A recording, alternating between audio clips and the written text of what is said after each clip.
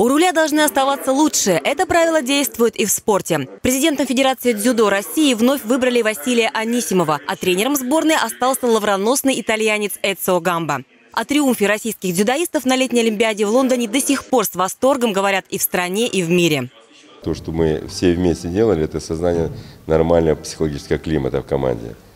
Чтобы не было их распри. И, естественно, мы обеспечили всем необходимым для того, чтобы у спортсменов не было забот по поводу, там, где выступать, а, оборудования спортивного – так, в качестве места проведения одного из основных тренировочных сборов перед Олимпиадой был выбран региональный центр дзюдо в Кемерове. Поэтому наша областная столица причастна к лондонскому дзюдо-триумфу. На конференции, участниками которой стали 73 представителя региональных организаций Федерации дзюдо России, вспомнили и другие многочисленные победы. Со взрослых, молодежных, юниорских и юношеских турниров наши спортсмены привезли домой свыше тысячи медалей, из которых треть – золотые. Правда, долго почивать на лаврах не стоит, решили новоизбранные члены Президиума Федерации. Регулярные тренировки и никакой звездной болезни.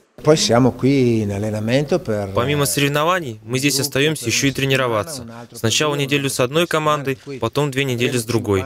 50 человек будут в ближайшее время тренироваться в Кузбассе. Нам есть чем здесь заняться.